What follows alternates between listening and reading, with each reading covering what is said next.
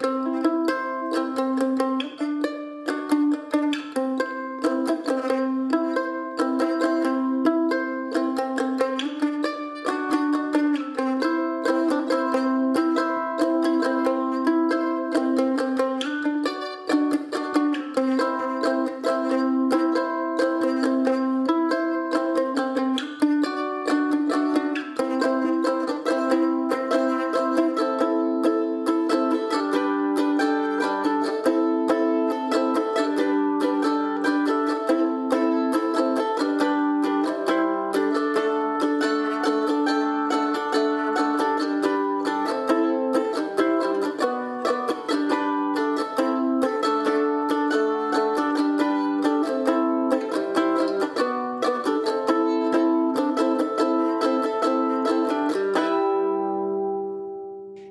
Welcome to RPM, Rock and Pop Mandolin, your site for learning classic rock and pop songs on this lovely little eight stringed instrument. Today, we're taking a look at a song from my favorite band, REM, a song that actually does have some mandolin in it again, but uh, it's very difficult to pick it out. You have to listen closely, but you can hear Peter Buck playing some mandolin in this song. It's called Man on the Moon, one of their biggest hits. Really great song and some interesting chord progressions for you to get under your fingers.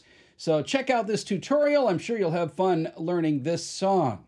If you are new here, thanks very much for checking out this site. Once again, we really appreciate your support. But don't forget to hit that little red subscriber button down there on the right on your way out. Leave us a like too if you like this video. If you are a returning subscriber, thanks very much for coming back and checking us out once again. We always appreciate your support. You can leave us a like as well and check out our Patreon and Amazon links down below too. We'll have some exciting stuff coming up on Patreon, including live mandolin sessions once a month, so you might want to check that out. But now, without further waiting, without further ado, let's take a look at this REM song called Man on the Moon here on RPM. All right, Man on the Moon comes from the early 1990s from the album Automatic for the People a really fun song to play and some, uh, well, some really neat little chord progressions here. And I'll show you the beginning. It starts in the key of C, all right? And what I'm doing here is I'm not playing that sort of conventional C that I normally play down here. I'm, I'm adding this finger down to that fifth fret of the G string to give you the root, to give you the C root in that C chord. All right, so you got fifth fret here, second fret here, and third fret there, okay? Your C chord, all right? So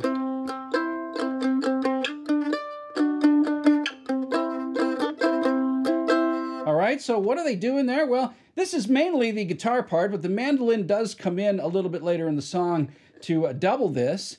So what Peter Buck is doing in this song is he's playing that chord, that C, He's kind of strumming it and then arpeggiating a couple of notes. And then he's sliding that entire fingering up two frets to give you a D chord, but also with that E ringing out. So it gives you like a D add 9 chord. Can you can you hear that? And he does that on the guitar as well, so you can mimic that chord here on the mandolin. But the key to this chord progression here is that little slide up and down, all right? So he doesn't just go, he doesn't just do that. He's sliding into that D and then sliding back down to the C again. So here it is. So you see how I did that? I slid with this finger here, my third finger, from that C note to, to there, to the seventh fret, D. And then I formed the D chord here, all right? So you're going...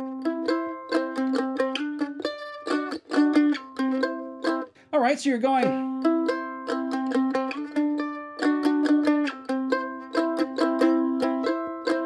See what I did there? So I'm I'm hitting that chord up and down, arpeggiating a couple of notes, and then sliding up to the seventh fret and doing it again on that D chord, and then back sliding down to the C note again. So one more time.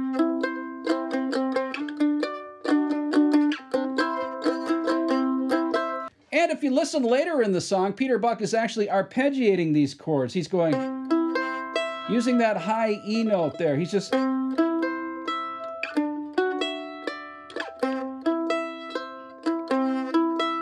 So he's hitting all the notes in the chord like that, even that high E coming down off that high E.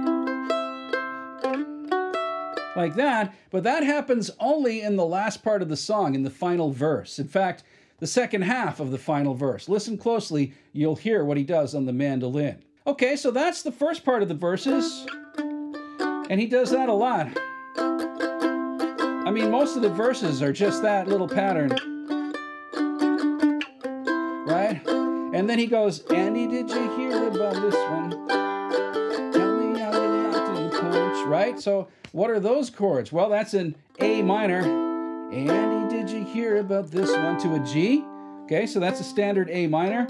Fifth fret here on the G string, second fret on the D, open A. So, and you might even do a little little hammer on there on that second fret. Tell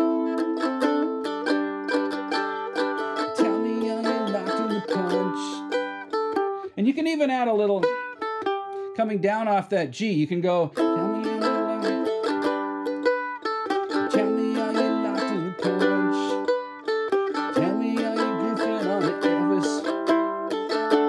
So right at the last part where he says, Are you goofing on Elvis? Hey, baby, that part, he goes from quickly from the A minor to the G and then to a C and a D.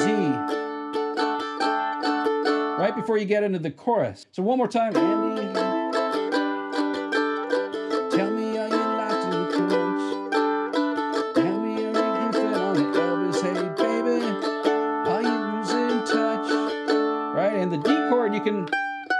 bring in that note there if you want. Right? So one more time.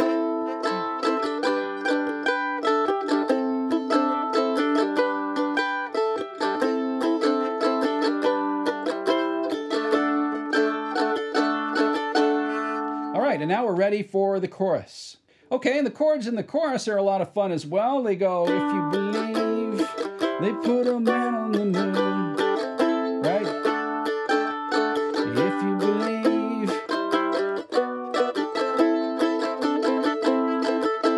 Okay, so what are those chords? Well, it's a G chord first, if you believe, to A minor, then to C, and then a really cool B minor back to the G. All right, so if you believe, G, if you believe, A minor, C, B minor, and then G, A minor, D.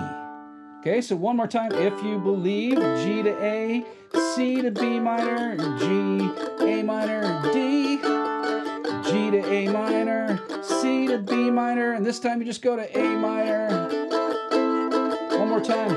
G, A minor, C, B minor, G, A minor, D.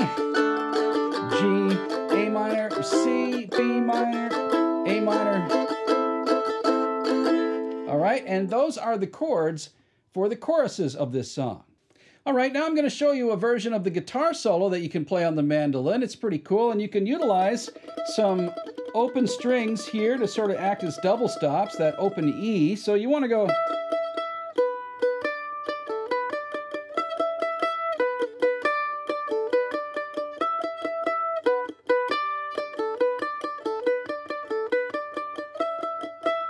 Right, so I believe on the guitar, though, he does something like...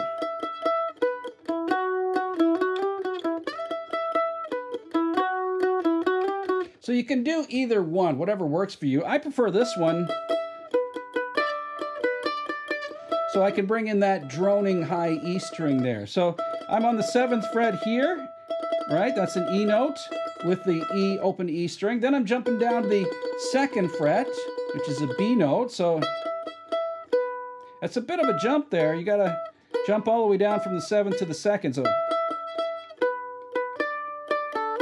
and then up to that fifth fret.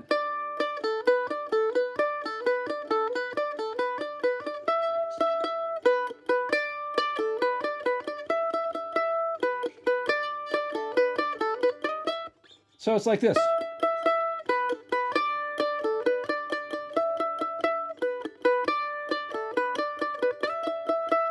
Something like that, all right? So you're utilizing that seventh fret, the second fret, and the fifth fret and the open A, all with that droning high E. Now, if you wanted to do closer to what the guitar does, you go seventh fret there, second fret, but now you're going to the next string. Little E minor pattern there. So the second fret here, which is your E note, fourth fret, F sharp, and then fifth fret, G. Okay, so